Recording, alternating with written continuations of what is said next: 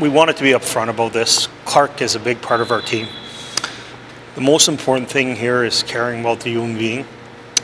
Clarke has suffered a concussions. We don't know much. This has just happened an hour ago.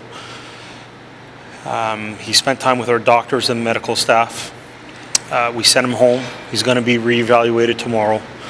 Obviously, with concussions, there are symptoms. It's very complicated.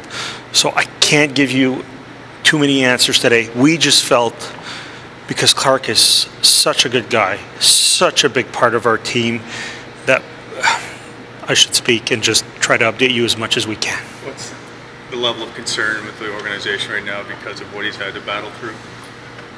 Oh, there, there's a level of concern with any time anyone has a concussion. In Clarke's case, he's had a history. Uh, we held him out last year, even though he was cleared to make sure uh, that he'd be okay for this camp. I think uh, you talked to all the veterans, you talked to our coaches, you talked to myself, Randy. We're at a point where we're heartbroken here. It's a human being, it's his life, and that should be the biggest and foremost priority today. Pierre, what are your thoughts on, on the hit? And if you can, can you share what uh, Clarke said afterwards? I haven't spoken to anyone. Um, I saw the hit in action. I saw it quickly after. I haven't really had time to evaluate. Uh, right now, I don't care about the hit. I care about Clarke. That's what everyone should be thinking about. How was his response when he when he left the building? Um, again, Gord, I wish I could tell you. I, am so sorry, but uh, all I know is that he saw our doctor, saw our medical staff, was driven home, and he's resting and we'll reevaluate, reevaluate tomorrow. Have you spoken to Patrick? No, uh, Randy spoke to Patrick.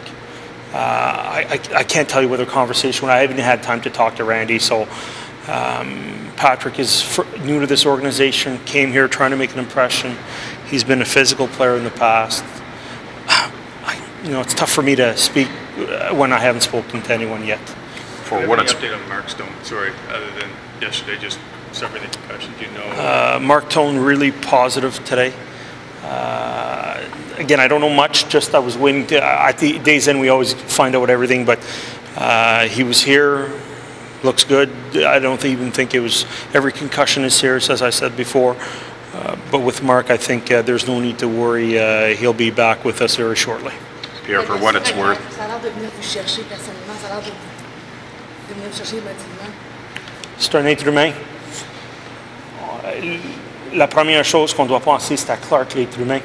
Puis quand on voit tout ce que Clark a passé à travers l'année passée, puis on voit qu'est-ce que qu'est-ce qui vient d'arriver aujourd'hui, on passe à l'être humain, sa famille, ses enfants. C'est la chose la plus primordiale pour nous en ce moment. Pierre, for what it's worth, the um, and it probably doesn't mean much, but the reaction to the hit doesn't come as a surprise to you, I'm sure. No, we have a lot of guys in that dressing room that care a lot about Clark, that knows what, what he's gone through. So the reaction from our players, I have no issues at all. I'm even applauding it. Uh, they, they, that's a team in there. They're going to rally with whatever happens. And, you know, it wasn't going to be 82 and 0 this year. We're going to face some bumps along the way, and that all I can tell you, that room has a lot of character in it, and I'm proud of those guys. All right, thanks very much, Pierre.